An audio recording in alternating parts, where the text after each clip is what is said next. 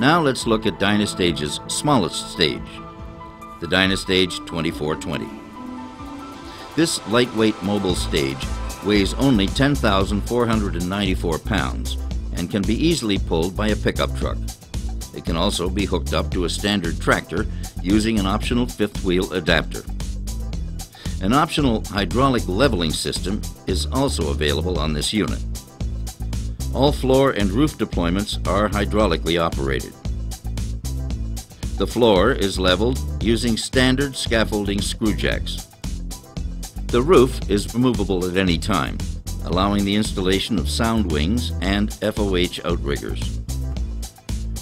This stage comes with built-in pipes for hanging lights as well as audio, video, and rigging equipment. The stage is equipped with hydraulic safety valves and secured using four aluminum security legs. Once in place, the roof can support up to 4,500 pounds.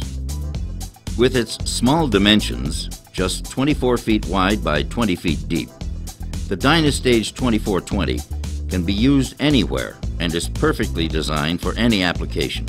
Furthermore, setup can be done by one technician in just 35 minutes. Finally, Dynastage technology is quick and easy to set up.